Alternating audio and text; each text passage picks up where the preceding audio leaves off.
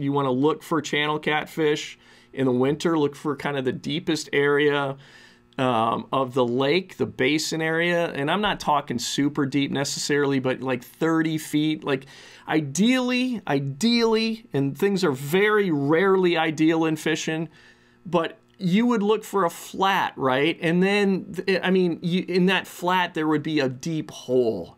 And that's where you would find the catfish at. So look for that kind of situation where um, you have a, a, a, shallower area and then access to like one of the deepest areas of the lake. And what I've found is those fish in the daytime, they're kind of out in that basin area.